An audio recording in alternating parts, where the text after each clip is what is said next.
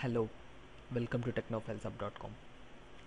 Today we are going to see how we can set my computer icon on your desktop though it is a simple tip but many of us don't know that. With the default installation of Windows 8 you don't have my computer icon on your desktop and it is difficult for us to navigate to our files though we have a file icon on our taskbar and Windows E as a shortcut but it is one of the easiest ways to have or to navigate the files having my computer icon on your desktop.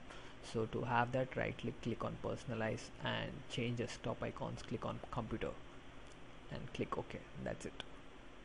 Thanks for watching. Have a nice day